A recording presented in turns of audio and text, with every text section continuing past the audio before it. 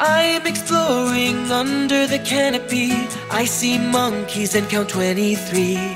So climb a tree, now I count 20. This number sentence describes what I see. How many monkeys climbed, I'll find out Because that's the unknown I want to know about I try a three and that's when I see How many monkeys climbed up a tree Three. Read what the question is asking about. Write down what we need to find out With a statement that makes sense of the problem As a number sentence.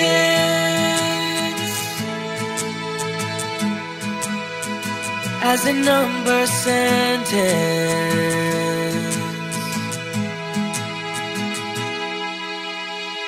Exploring in Antarctica and saw through my binoculars.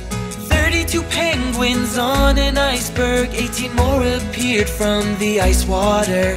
To find out how many there were, I wrote a number sentence so I'd be sure. Now I can see the solution is 50 penguins resting on top of the deep blue ocean.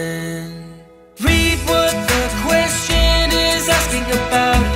Write down what we need to find out with a statement that makes sense of the problem as a number sentence.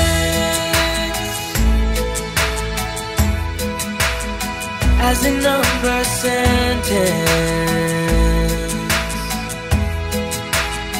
Visit numberock.com for ad free videos, lesson materials, and more.